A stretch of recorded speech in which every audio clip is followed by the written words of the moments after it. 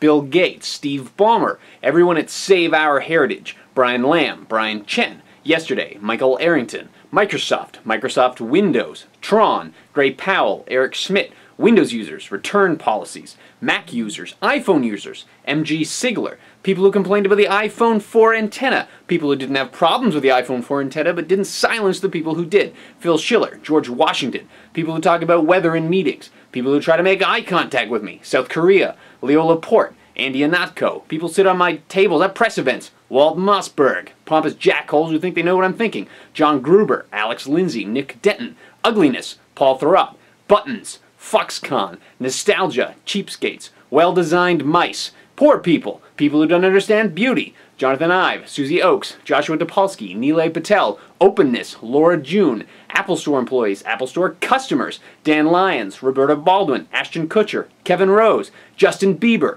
whiny little bitches who don't appreciate how magical my products are, whiny little bitches who think I'm overusing the term magical, which I'm not, Steve Wozniak, me.